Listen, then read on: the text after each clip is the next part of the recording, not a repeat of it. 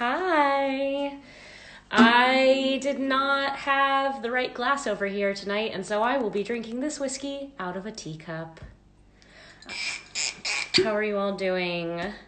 I wore real pants for about 30 minutes today. It was awful, so I changed back into pajama pants because you can't see. It doesn't matter. Hold on while I get this poured. Sarah should be along any minute. I don't even know how much I poured because that's not in a proper whiskey glass. But I will keep it here just so that I can show people I'm not drinking tea I, right now. It's been that kind of week. I just needed to check and see if my buttons were in the right space. I just spent the last 10 minutes running around my garden uh, trying to catch chickens. So, yeah, couldn't get the chickens. Took took about 10 minutes. They did not want to come in. So, yes. Cheers. Is anybody having a nice drink? A cup of tea, coffee, chocolate, a whiskey if you're me? Uh, Someone asked when Bridge of Souls will be uh, I assume you mean released. Oh, there's Sarah. It'll be coming out in March. Sarah, Sarah, Sarah, Sarah. Hold on, I have to find Sarah. Let's see if we get Sarah. Wine, I love it. Coffee, I know it's so many different times all over the world. Hello. Sarah, Hi. How are you? hi. How's it going? It's going, buddy. It's Oh going. man, I'm drinking tea. I'm drinking whiskey out of a teacup. Whiskey out of a Mhm. teacup. Here, let me scoot you back a little bit. Let's see. Yep. Hi. Reframing. Hello. Oh. You look well. How is France? It's fine. I was just telling our our our viewers that I just spent the last ten minutes in my parents' garden trying to wrestle chickens into a coop. Oh, We've got seven struggle. of them now. seven of them named for different kinds of alcohol. excellent. Yeah, we've got Talisker, Margarita, Pina Colada, um, Bailey's, Mm, Tito, Chardonnay. Chardonnay. I know I'm missing a few, but they're not mine. Um, how Great are names. you- how are you, my love? I am good. Ireland has extended its lockdown by three more weeks, Oh, nice. uh, and we are not allowed more than two kilometers outside of our houses. Same. So High fives. yes. Awesome. So It's it's, strange. The neighboring block of flats had an outdoor bingo uh, performed from the balconies today. So Oh. in the distance, I could hear like number twenty-two, two little ducks. Anybody got number twenty-two? So their uh, communities are coming together in Yeah. the first sunny weekend of the year. Um, hopefully together and also distant. Yeah. I mean, that's the nice thing. I did see our elderly neighbors across the street. I couldn't call them elderly neighbors, the same age as my parents, but my, my neighbors of an age across the street having a, a coffee date, and everyone was a solid like six to eight feet apart. It's beautiful. In my sister, in the little enclave my sister lives in, um, deeply hip enclave in, in Dublin called Smithfield, um, uh, a quartet of um, string instrument players got together in the green about six feet apart to play for the square. Yeah. She sent us a video of it. Um, it's lovely that people are kind of, and everyone's standing outside their houses. Of Like, course. there is, there are beautiful things happening amongst it. You know, My favorite is like the John Krasinski made that Some Good News Network, and like a lot of people have just been like, I mean, we're seeing a lot of good in humanity, a lot of nice and a lot of hopeful, and I think that's wonderful. We're just giving everyone a, a couple minutes to get settled with us. Um, yeah. I'm so glad you're here to chat. You too. It's nice to see you. It's been too long. I know it's great. I feel like last time we shared a cocktail was virtually while I was in Holland. I was in Oh, it was you and I was in a cottage in a field. Exactly. You were Yeah. renting in a cottage, and I sat at a bar in a in a library themed bar in in Amsterdam Oh, with my tiny little camera and my earbuds in, sharing a whiskey with you while you had Oh. probably a canned G and T in a cottage in Ireland. Yes. Yeah. In in a cottage in in Mayo, in a Yeah. town called Cong, um, in a field near a town called Cong, which is where I went to break the back of this novel, which I did not finish until last week. But you So- finished it. I did finish it. Yeah.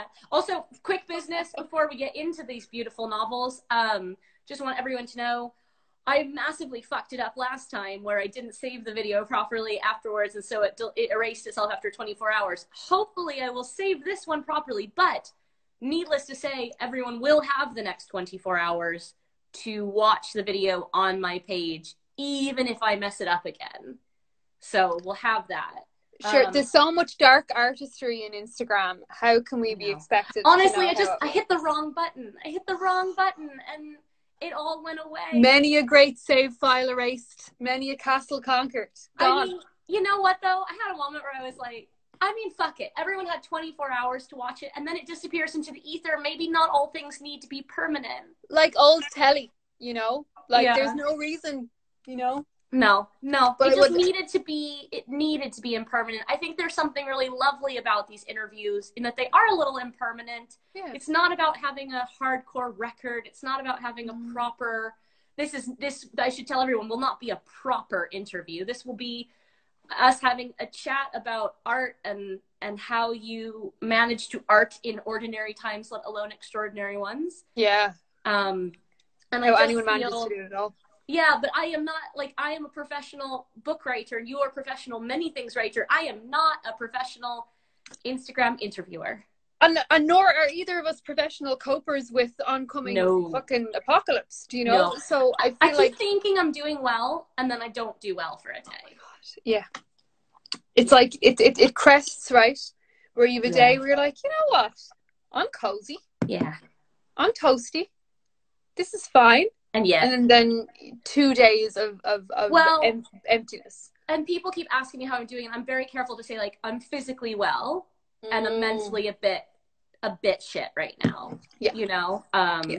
but I want to get in and talk about you. These people already know what a mess I am all the time. Um, I couldn't wait to have you on here. One, because I truly believe you are a once in a generation talent.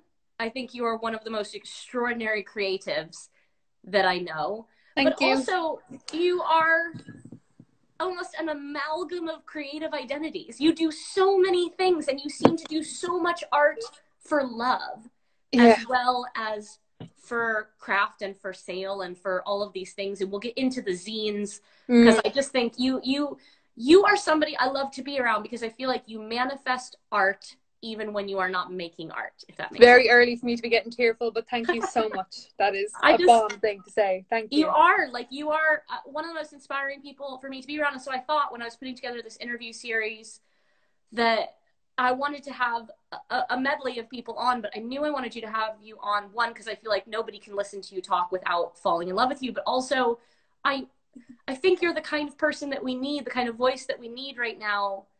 Because you have this, I, I talk about Addie a lot and I say it's about stubborn hope, but I feel like you have this stubborn creativity. I feel like you inspire me on days when I would otherwise not be inspired. So And that On goes right back to you, buddy. I hop in. I I, I feel like I make these visitations to you and your work and your feed, and I'm just like, you know what? This is. It feels like an architecture to walk Yeah. through of hope, you know, where it's like there is discipline and practice and beauty to be had in that matrix of discipline. So you offer the same light back to me, and Yeah. I, I deeply appreciate that. It Oh. means a lot. It means a lot. I love it. Well, I'm, I'm honored to spend this time with you. Let's get started. Before someone pointed, they can't see my forehead, so I'm going to lift my camera up a little bit. I would say I don't like to show my forehead right now because I did. We're all chat- doing it. We're I all did doing one it, chat where somebody was like, "Oh, she's got such a big forehead," and I was like, "But I do." What an So- arsehole. No way. You have a beautiful face and your are see. amazing. That's as good. as. Hold on, I'm very. This is as good as it's going to get. All right. So Magnificent. origin stories. I Ah, want to hear your origin story. Tell us how how did you get here? How did you get here? oh, I tell you, and I say this often. I got, I did not get in through the front door. I got in through the kitchen. I made my way in all the way around the back. I am not supposed to be here. No, I am an unlikely motherfucker in this party. no. Um, I so I come from a working class background in North County Dublin, um, a place called Kilbarrack, which any of you who have read any Irish literature would be familiar with because it is a weirdly famous suburb from the works of Roddy Doyle, The Snapper, The Commitments, and The Van, which are um, set exactly where I'm from. and are iconic working class pieces of Dublin and Irish literature. Um, I was bought books a great deal when I was a small child. Um, there were always books. There were always books. Where there was deficit in other things, there was always books. And uh, I was also raised by my grandmother until I was six, and then I moved back in with my parents. Um, so I had a very very suburban very but i guess irish suburban and i've been pulled up on this a few times now Yeah. in my own work when i describe irish suburbia it looks nothing like american suburbia Yeah, we've got a very specific suburbia is kind of like a middle class, like a luxury of space. Ah no no uh ro- rolling gray housing estates flats uh apartment towers um fields uh, I was an indoor kid. I read and I played a lot of video games. Um, I wrote my first novel when I was 11 uh, because I had so many friends and I was so popular that I simply had to, uh, you know, record it all. Um, I read really, really voraciously and I used, like so many readers, I used those uh, third places as somewhere to go. Yeah. um when things weren't so bright outside. I was a reader i was nerdy uh i was lonely super weird lonely kid. And as long as i can remember holding a pen i have been using them to make things up. Mm-hmm. the origin story is amorphous. It emerges out of life in general i think i always wrote to cope and i Mhm. still write to cope um professionally i guess i was a i'm a retired spoken word performer I love it. You're not Um, retired I- in any way, though. Anyone who spends any time with you feels like everything that comes out of your mouth on panel in a bar afterward is spoken word poetry. I'm terrible. I do. I can do the whole melody of it. I'm a, I'm a monster for it. So I I um in college I started um going to the pub a lot and going to nights in pubs specifically designated around spoken word. But it was keep in mind the the access that people have to spoken word now versus the access people had to spoken word like I'm I'm 32 so I would have been 19 so you got to think about how much the world has changed. Oh, I yeah. stumbled upon this. Uh, I also stumbled upon like zine distros and this kind of underground wor- world of writing that was happening in Dublin that was not in bookstores, that was in pubs and like handed out for free in record stores. So I entered through the underground um, and started to do poems. In my experience, the quickest way to figure out whether or not a piece of work is any good is to read it out loud. Yes. You know, Highly. Like- I read everything at every every chapter, every stage before I turn it in. like you ha- like you can hear it right Yeah. you know and i think that that recitation Mhm. and that placing of the work into the ether tests it But it's not just that. You know what yourself. it is? So I'm 18 books in, and people will usually say they can tell when it's my book. And yet the books are very, very different. But I think what Yeah. they pick up on is that all Your of the voice. books have a cadence that works when spoken. And I That's guess it. that from your work and from your stories is I feel like as different as your books are, I can hear your voice. And I think we Me talk too. a lot about a lot of people ask craft questions about how difficult it is to find voice. And I feel like the most literal sense of it, can you read it aloud and does it sound like someone? right such a specific idea. Also, I love that I'm getting to know the recipe of you because I can see it in this like pub upbringing with the spoken word and the zine. So go on, continue. so it was scrappy but that's what it was when i when i realized that you could learn if a poem was poor or if it did the thing now i'm not saying good like capital g good or capital g great but Yeah. if it did the thing to a room of people you know you know Yeah, yeah. when you're reading and something just moves Yeah. And then it moves back that's all it needs to do right Mhm. because wherever everybody went during that they came Yeah. back and that's the Well, you're pipe important thing pipering. You're leading them. fully witchcraft, right? Yeah. You know? So um the scene, if you will, in Ireland was about 15 people wide. There was two women, myself included. Um and I just twice or three times a week, every week, like a bard with a guitar, Yeah. would just go to the pub and do poems. And so my entire social life became really heavily interlocked with poems and storytelling and spoken word.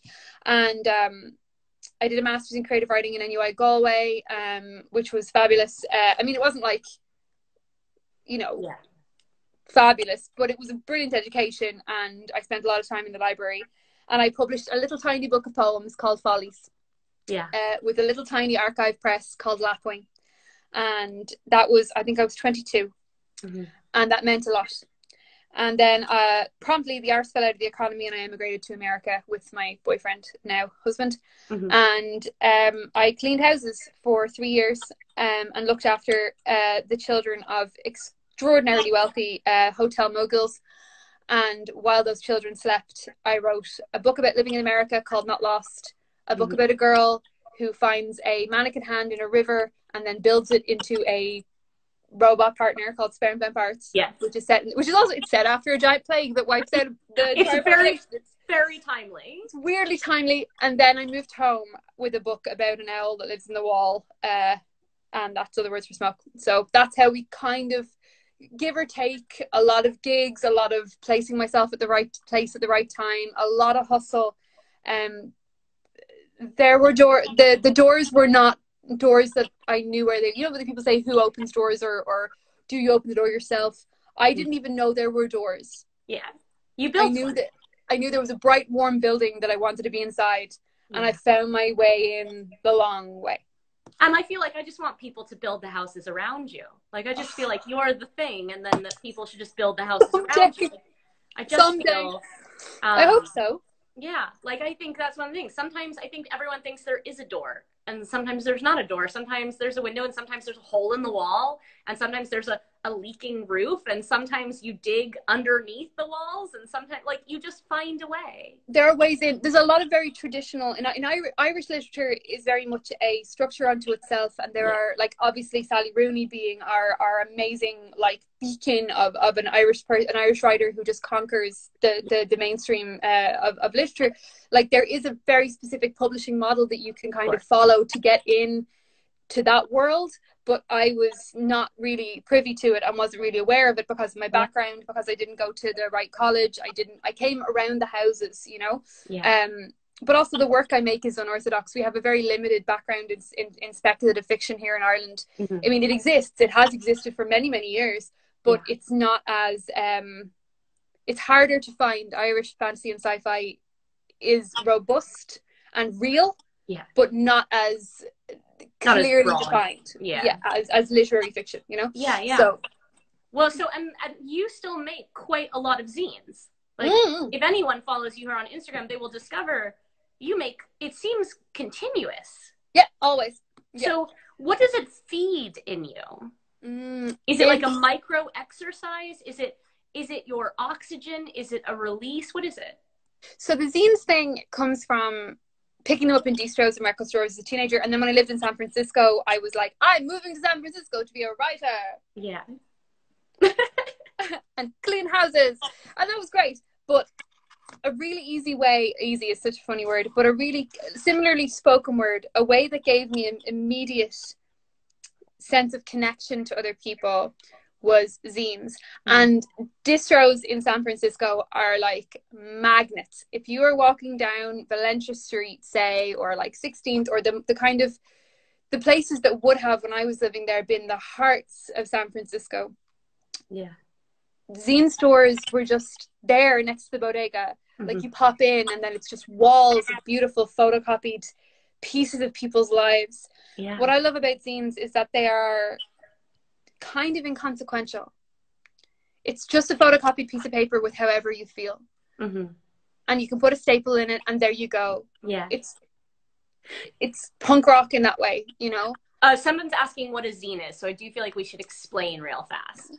so zines were invented in like the they were invented zines came about in like during the punk movement as a way for people to write about their local bands who you wouldn't see in mainstream music magazines so if you were into like say a punk band called uh, candle scissors and you were like oh my god like everyone in my state or everyone in my town loves candle scissors work but nobody they're not on mtv they're like MTV doesn't exist. It's the seventies. Do you know what I mean?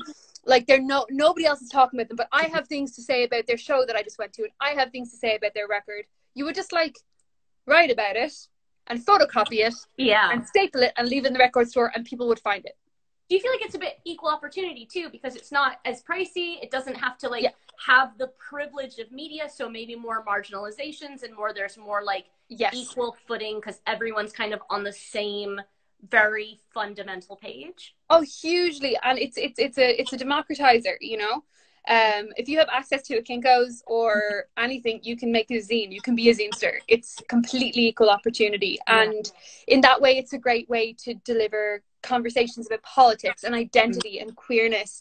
And zines can be intrinsically personal, or they can be widely political. They can be instruction manuals. Anything you can put on a piece of paper and fold eight times. That's a zine yeah they're truly freeing. And uh, I worked for a year as a creative with a very large um, music festival, a European music festival, where I worked at a very high level of um, invention, and my creative well was empty, and I became very sick. And during that time, around when I when I uh, left the job, and the only secure role I'd ever had in my life, um, I was like, how about I just do whatever I want? yeah How about I just put up on Twitter that I've made a zine about bananas and Mhm. dolphins, which is what I did. okay It's but they are amazing I got they're amazing i Yeah, mean yeah. i just i can't see a banana and not think of The a banana dolphin. dolphin holding So- like a coin Yeah, It's Yeah. called it's, it's, it's disgusting mouth. So I had been looking at pi- up late, looking at pictures of bananas that had been turned into dolphins because that's who I am, and you know what else are you doing at night? Yeah. And I wrote a very small zine about um, not being able to laugh Yeah. and finding reprieve in surrealism. Mhm. And I said on Twitter, "Yo, I've got forty of these," and they were gone in thirty minutes. Yeah. No, your zines are like a hot, I feel like your zine drops are hotter than an arc drop at BookCon. Like they're just I like, wish so I- fast. It, sometimes I'm kind of like, man, I, I also write novels. but this is the fascinating thing, right? You have this highly democratized medium that becomes highly exclusive. Mm. You know? which is such a dream. It's so lovely that people want them, and I often get messages from people who want to make their own, and to them I say, please do, yeah. like, please make your own.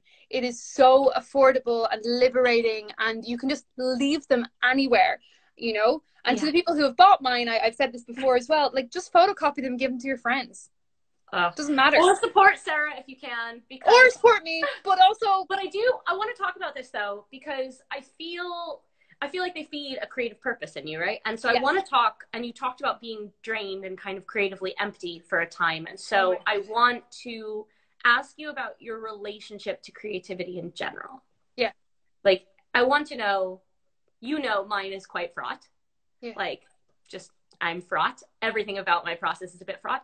Um, I don't have a zine thing. I don't have a, or I do. I writing for television became my zine thing, right? Right. It became The third space. was a safe space that was less precious and more collaborative. Mm. And even though it's very precious in the end product, the process felt liberating because it was less lonely, right? So I want to know about your relationship to creativity in the general and in the specific. Yeah, in the general, it's um, and you know, I was thinking about this today coming into this, and I'm gonna say something terrible, so forgive me. And Lydia, if you're here, Lydia, if you're here, I'm so sorry.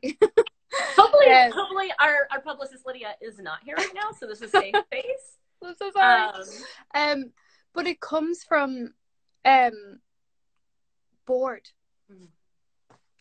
Just always you're bored. okay. Like you want to make an apology there to our book publicist, and Yeah. what I would say to that is, w- there's this weird pressure that happens when you're a novelist. Like you're not allowed to spend time on other things, or if you do, that that is inherently a neglect of the book job that you have. When the truth is that time and focus are not the same things, and that we need to find ways to refill the creative well. Now, you would feel less guilty about refilling the creative well.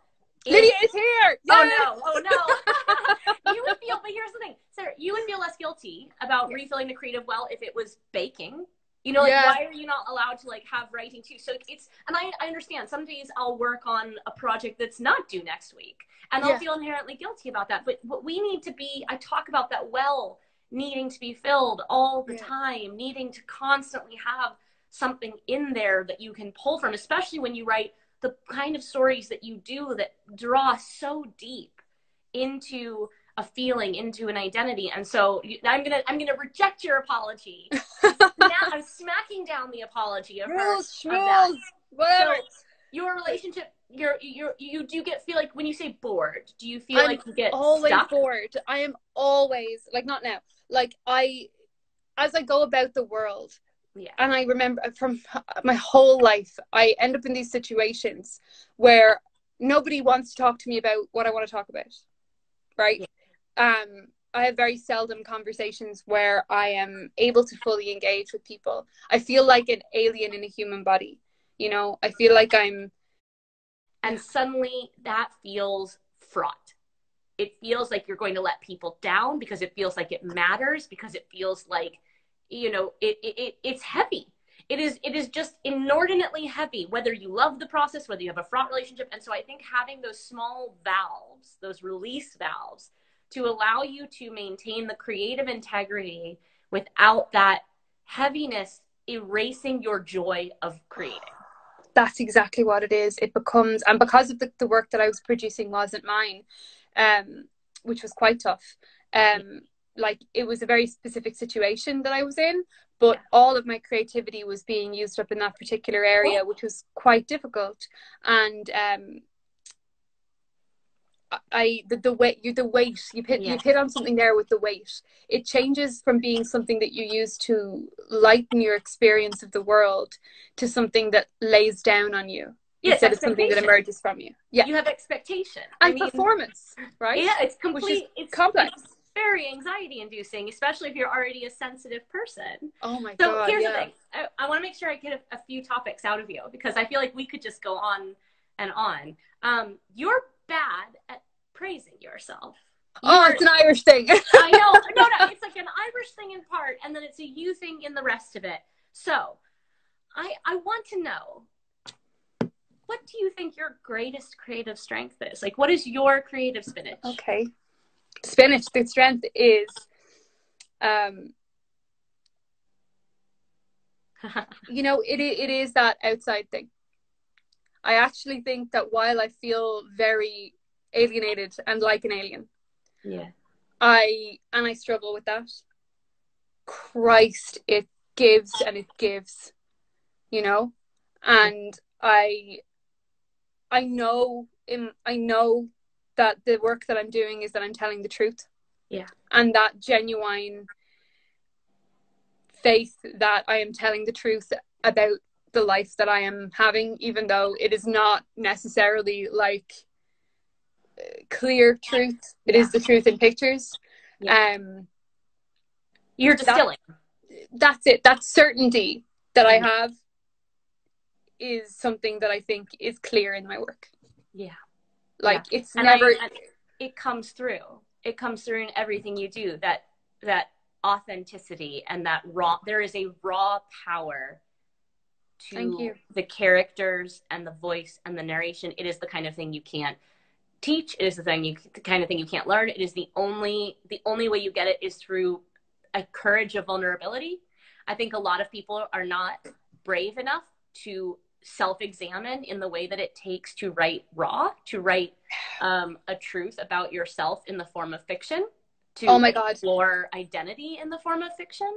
And like Neil Gaiman says this, the minute that you feel like you're walking down the road without any clothes on, Yeah. then you are starting to do it right. Exactly. And when I was writing Other Words for Smoke, yeah. um, I was fucking terrified Yeah. the whole time. I think was that's like- usually, I want the people listening to this to know that's a good sign. Yeah, it's a good thing. A good Fear, thing. there are many kinds of fear, I feel like, in this game, but I feel like the kind of fear that you should embrace wholeheartedly is the kind of fear where you feel vulnerable in the telling of it. Where because what that means is that people think, you know, we talk about write what you know, right? And the real Mm. truth is write what you feel. It's about getting to this the authentic core of an emotion under Yes. different details, right? Yes. It's about can you write truth? And in order to write truth, you have to be willing to experience it and you have to be willing to explore the experience of it. You have to. And it's not like it is so not chill.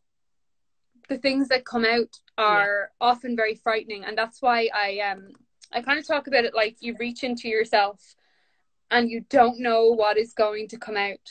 Mm-hmm. And then what comes out is an owl made of wallpaper. Yeah. Or a like boy with whose head is made of a kettle and whose heart is made of an i- iPhone. You know, I I Yeah. the shape You don't know what the form it's going to take. No, and then when it takes that form, it's like that's what you have to write now. Yeah. Enjoy the next two years Yeah. dealing with this. Like, I mean, the, the character that I probably have put the most of myself into, of everyone I've ever written, is the human boy Henry in The Invisible Life of Addie LaRue. And if you told me that I thought I would put myself into a 29 year old bisexual boy who had never found his passion in life, and who's about to go through some. yeah, and I mean, basically, like like spoiler warning, like and or you know trigger warning, almost commits suicide in the book, and doesn't, but it's one of the most informing things about his life. But if you told me that I would that that would be the character that I would end up being most Yeah. afraid of because he was the mirror to myself, but I put every one of my fears. He is who I would have been had I not found writing. Because the point where he goes off the rails at 21 essentially is where I found writing, like where I where I sold my first book, and it's like the shadow self. Found Yeah. it. He is exactly every one of my fears. But the point is, you don't know. Like everyone would assume it would be Addie, it would be Kate Harker, it would be Lila Bard, but it's not. It's this like 29 year old bisexual boy in New York Yeah. who feels like he went down to tie his shoe and everyone ran a mile ahead of him. Because that's, and you know what? That experience of looking down to focus on something and you look up and everyone is fucking gone. Yeah. And it's that feeling like you didn't do anything wrong, No. but you somehow everyone else figured out how to be an adult and you still feel like a kid. Those characters are the most compelling. Yeah. because they are the most true. Like Edith Coleslaw in Yeah. Ghost World, like those characters who get stuck Mm-hmm. and uh, from the for exa- the environment that I'm from, for example, all the girls who I grew up with have fucking houses and kids and have had jobs since Oh, they it's were so 19. weird. It's so weird. And I was like this asshole who was like, I'm going to art school, bye. And they were like, uh, fuck off. And I came Also, back and I had a nose ring and I was like, hi. I And they were like, Sarah's an asshole now. She thinks she's an artist. I still refer to myself as a girl, and people get really annoyed by it because they'll be like, eh, "We shouldn't say girl, we should say woman." And I'm like, "But you don't understand. I'm 32, and I still feel in so many ways like a child. Yeah, like, Like 19. when I say girl, it is a reflection of my own like life maturity, where I genuinely like." Maybe it's because it took me 28 years to figure out I was gay that I'm like, wait, wait, wait. I'm like a kid still figuring this shit out. I don't want to be a woman. Like, I, there's so you much stumble pressure. through all these experiences and then you wake up one day and you're fucking got gray fucking What hair. happened? Like what, what, happened? I happened? swear to God, my hair is like thinner on this side Oh, than it is bitch. on this Oh. side, and I'm like, is this like an age? Is it an age thing? Victoria, it's all an age thing. Oh my God! It's You all this an conversation age because. I'm 32 and I'm living with my parents right now because of Oh, lockdown. And I was sitting in the garden today and I was like, I have no suitors. I have no prospects. I have no loves of my life. I have no, like, I'm going to die alone. And then I was like, and I don't even know if I care about it, but society cares about it. I And then I was just like, I still feel like a kid. I still feel like I'm figuring shit out at 32. that means it's coming. And the thing is that we forget in 32, right, is that that's incredibly fucking young.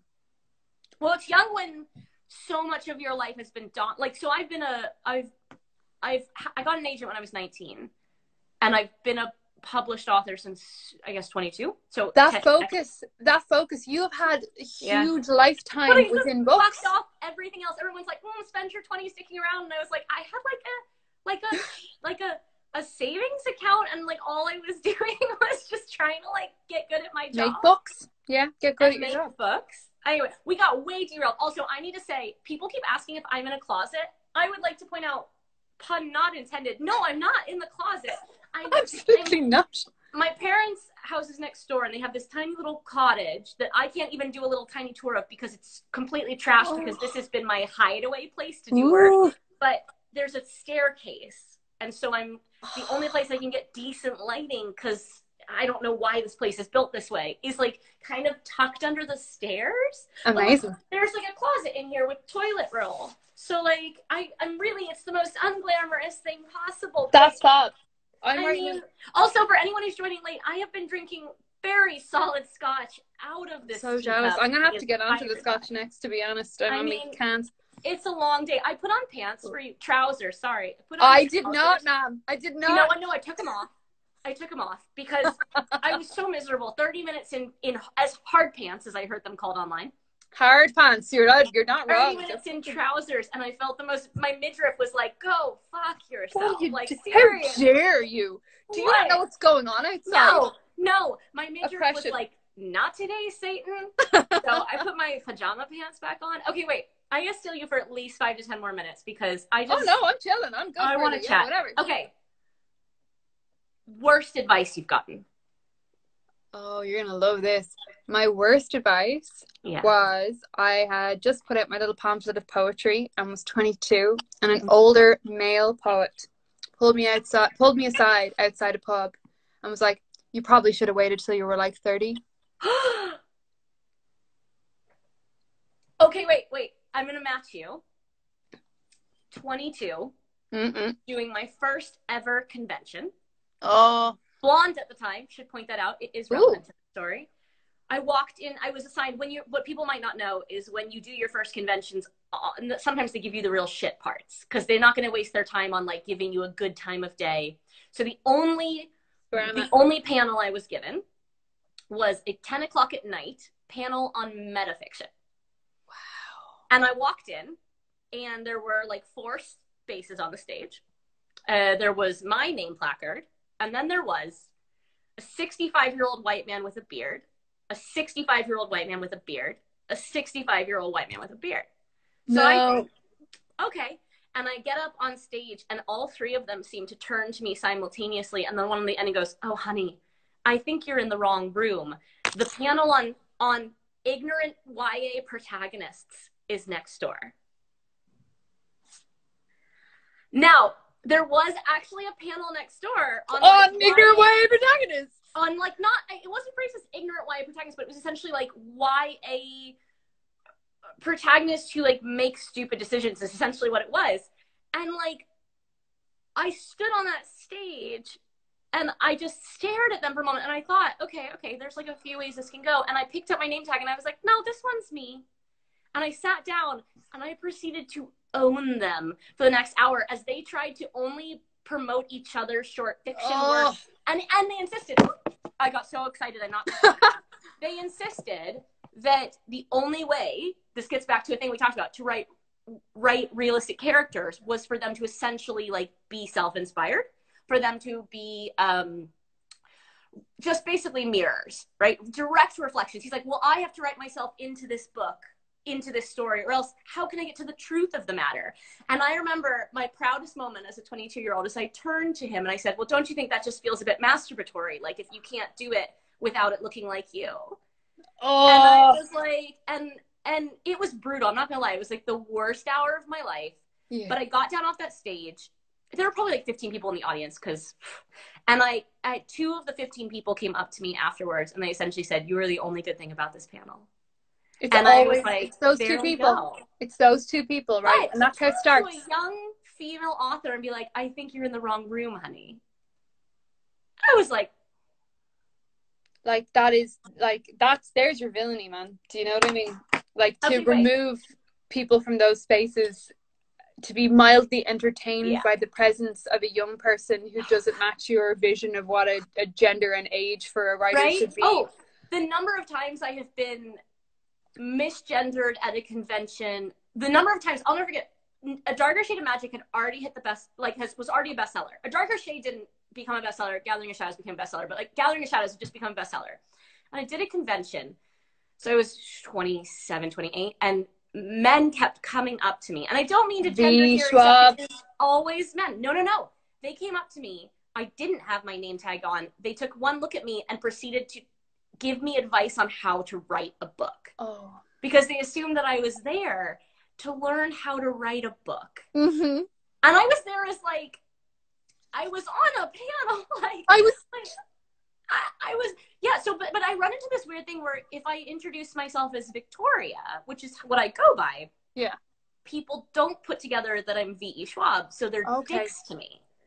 But then if I introduce myself as V.E. Schwab, it feels a bit cunty. And so I will introduce myself as Victoria, and then like we'll just cont- carry on the conversation normally, and I will start dropping hints that I kind of know what I'm talking about. Yeah. Yeah. and, don't and gotta- over the course of about 10 minutes, I will watch them start to tense and get a little confused, and then they'll be like, "Wait, what ki- what books have you? What kind of books do you write?" And then I'll like say it, and then I will say very few things in my life bring me as much joy as their expressions if they know who I am. abject is- horror. I just love it. I love it. I live Like, for it. I we forget i think we forget within the echo chamber that we live in right of of a very uh, femme and queer ya world right Yeah. or like fantasy world like i personally have attuned my internet to just Yes, I'm and queers surrounded. femmes and queers don't care like all the way down the line i don't want to hear from the men i don't give a shit anymore um and then when i step into real literary environments and people bad. talk to me like i'm an idiot Yeah. um, which they do. Uh, I, I think it's, I, I don't even push back. I just go. Mm-hmm.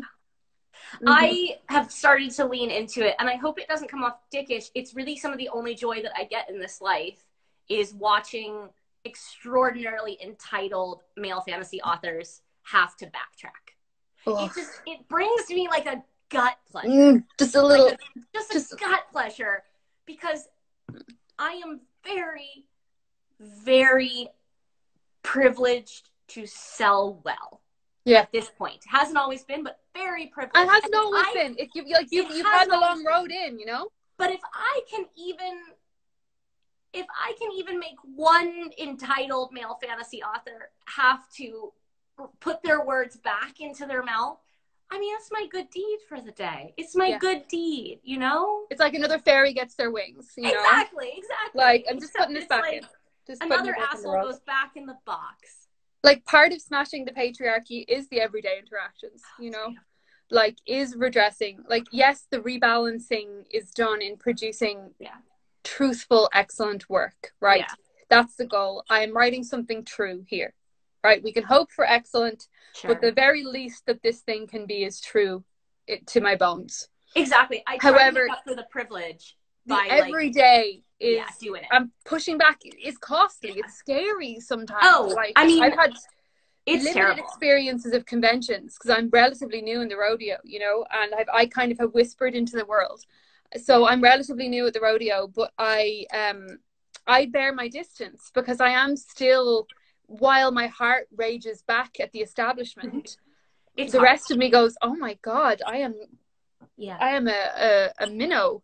Yeah. Uh, but But honestly, but you fight whatever battles you feel capable of fighting. And I didn't always feel capable of fighting these battles. And I see it as um, an expectation that comes with that privilege. Like, I have the privilege of having a platform and I have the privilege of having really strong book sales. And so I need to take that privilege and fight some of those fights so that my friends don't have to.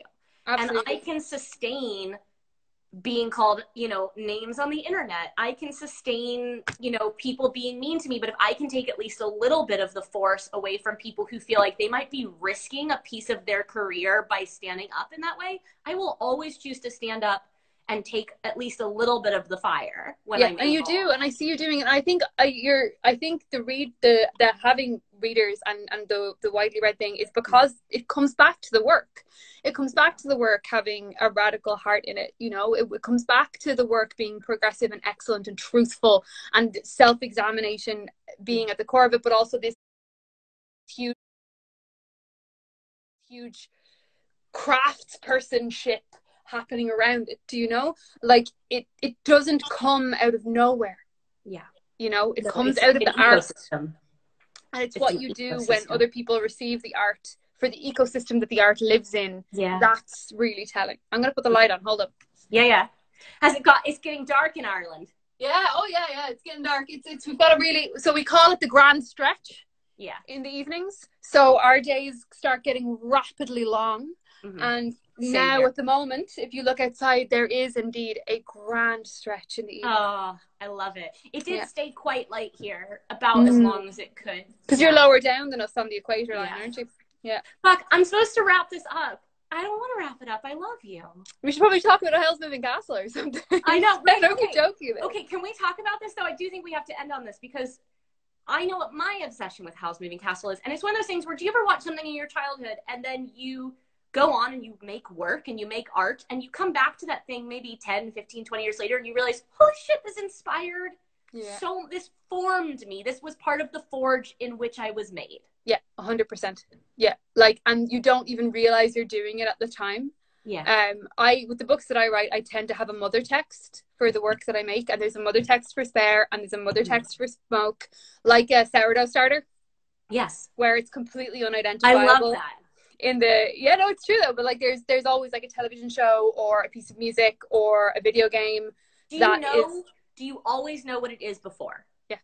Okay. See, sometimes I know after, but I don't always Oh, realize before. So wait, oh no, so is Howl's a mother text or is this just a life text? no. Howl's is a life text. Got it. but there are yeah i have i've worked with um with four mother texts now um or do you feel comfortable hinting at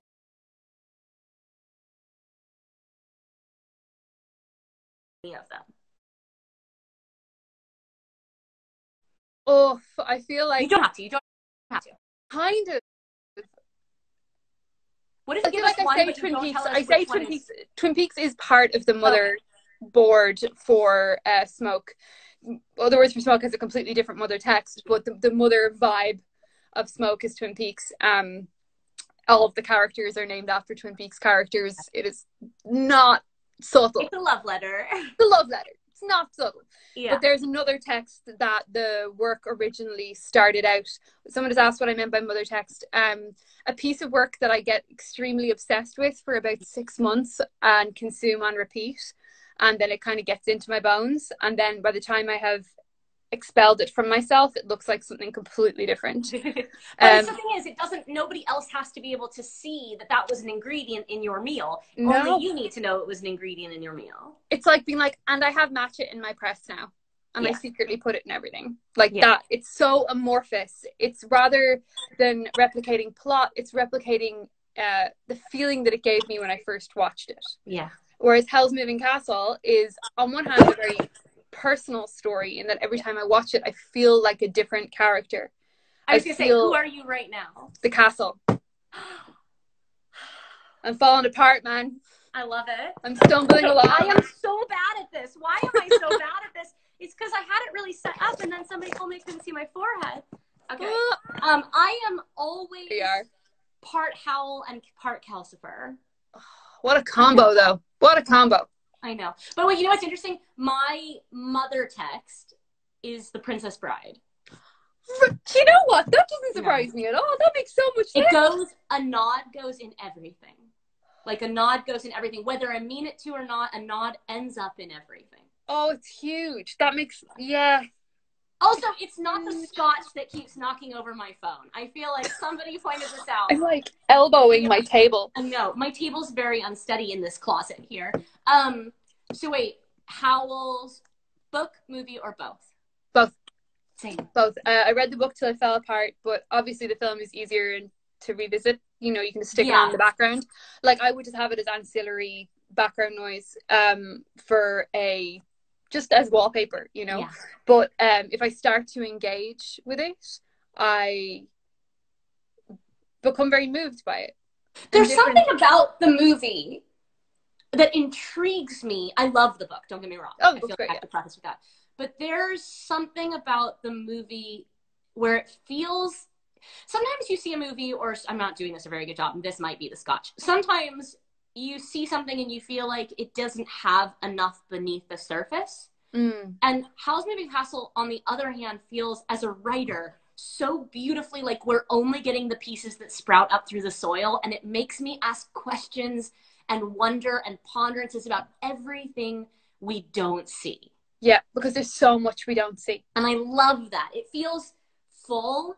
And I think Mm. that's something about most Miyazaki projects where they Yeah. feel like we're, even though we're getting this much above the surface, you can feel the richness underneath it. Yeah, you really, really can. And the difference between the story and the character of Howl, obviously, like there, there was definitely like two years where I was like, I'm Howl now. Oh, yeah. You know, I mean, widely a Sophie, but at my absolute best slash worst, I'm a Howl. oh, at my Um. worst, I am, I am absolutely Howl. I'm specifically Howl when he dyes his hair the wrong color Oh, and then melts. his head on the his head on and he just stove. melts and i just i can tell you that that is my internal space many days where i just feel like if i could be coated in green goo and have a complete nervous meltdown Yeah. over something so trivial i mean i did i spent like an hour a day being like should i cut my bangs i don't know i don't know what if i do a terrible job and I'm the same, man. I'm like I mean, growing I out have my them true colors. back but the problem is i'm my blonde is starting to come in and it's making my hair look thin and i'm very self-conscious Doesn't look thin, looks awesome. Lean into the blonde. Come I don't want it. I don't Come on. want it. I'm Come a on redhead at heart. I was I was after ten years, man. Until I was 16, and I haven't been blonde for any stretch of time since. And before anyone asks, like for real blonde, like Cool. super, super like ash blonde hair. Awesome. That's so cool. Ah, but look, but like the armor, the armor that we place on ourselves is Yes, exactly. yeah, Uh, it's my armor is like gender ambivalent with Yeah. very, very dark red hair that Mm, makes me look even paler than I normally am. yeah. It's a real. It's a real. It's not quite blood. It's like nice wine. You know. yeah, there's like- something about this that's slightly more feminine, and I like it for Addie, but Yeah. I like have a very big forehead, and I feel very conscious about it. And the bangs, the bangs fix a lot. We've really devolved here. I'm sorry. I'm sorry. Um. Okay. Last question. Okay. And then I'll let you go. Um. I know it's my very sadness, but you have been a joy, and everybody in these Thank comments you. you. I feel like we have trans. We have left this terrible world for I know for a little while. Oh my god, it's been so while. joyful. Thank you for being so kind and warm. Of This has been so much fun. Don't thank me yet. I'm going to ask you a really hard question. Okay, okay, okay. Only one work that you create gets to outlive you. Which one do you hope it is?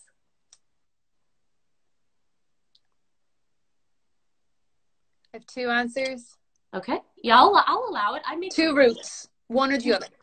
Yeah. My one one answer is that I have not written it yet. Yeah. I don't feel that I've stepped into the full breadth of what I'm capable of. I think that there is something ahead for me. Yeah. One. And two is a poem that I wrote during Ireland's uh, fight to repeal the Eighth Amendment in our Constitution, which is, I'm getting kind of emotional talking about it. Um, uh, so during 2000 and, oh my God, 18, fuck, it was, it wasn't even that long ago. Um, Ireland uh, had a referendum to repeal the Eighth Amendment of our Constitution, which is the amendment which prohibits uh, abortion. And um, myself and my mother canvassed. Uh, we were very involved in the fight for equality and for the women's right, women's rights to access healthcare. And during the campaign, I wrote a poem which is called "We Face This Land." And one morning at six a.m., a hundred women gathered on the beach in black sweaters, which said "Repeal" across the chest, and said the lines in different sequences of this poem that I wrote. And um, my mom and my grandmother and my great aunt, there's like four generations of my family together uh, in this video. And it went Irish viral. Uh, it, a million people watched it in a day. And That's to the- amazing. to the best of my knowledge, is a girl who has a, a line of it tattooed on her. There, I would go to the pub and I'd go to the bathroom and I'd see lines of it written on bathroom doors. I would be in protests and see people holding placards with it. It's about a minute long, Yeah. and if that goes, then I have You've done a made an incredible contribution. Someone's posted the link um, on where people Ah! can find it. I feel like you can also probably Google that. Uh, for everyone else who a lot of people are asking where to start with you, where would you like them to start and how best would you like them to find it right now? If you are interested in reading my work, I would say start at smoke and go backwards. Um, Other Words for Smoke is a, and it's also relevant to what I just spoke about. It's, it was written during the lead up to the Eighth Amendment. It's about um, two, three generations of queer women in a haunted house in Dublin, and about partially about women's in Ireland struggle with the Magdalen laundries, which if you don't know what they are, please look them up. I won't start talking about them now or I will cry. Um, and uh, partially about two creatures, one that eats love.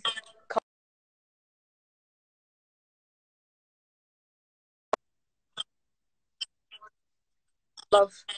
Um, most of all, it's about love. Um, other words for uh, that's other words for smoke, which was published by Titan in 2018, and then in 2017 um, my first novel, Spare and Found Parts, is about an epidemic which wipes people out caused, caused by the internet. It's mostly about alienation and loneliness and a girl who builds herself a partner out of bits of debris and scrap and a forbidden computer. It's a love letter to Ireland in which I burn it to the ground. um, it's also about midnight raves and being a little less lonely. So those that's the order I, w- I would say go back in time. I agree. Um, I agree. Yeah. And everyone, if you don't already, follow Sarah. If you follow Sarah and not me, follow me. Yeah, um, you, you, should be here already. Come on. And and just know, Sarah, you are a light in my life, and I'm you so too. glad that we could chat tonight. And I hope Thank that you. everyone has um has had a wonderful time. Uh, this live link will remain live regardless of whether or not I fuck this next part up for the next 24 hours. And then hopefully I will be able to save this to highlights because I want everyone to be able to find you forever and ever. Come come back to our cozy quarantine party. Thank you so exactly, much, Victoria. Exactly. This has been like it's been like stepping into somewhere else for an hour. So thank you for opening that up for me. Of course, and thank you for everyone who has joined us. Yeah, thanks for having me, guys. Of course. Awesome. You have a wonderful night, Sarah, and everyone else have a wonderful day, night, evening, morning, wherever you are. Thank you so much, babe. Godspeed. Stay safe. Good night, guys. Bye bye.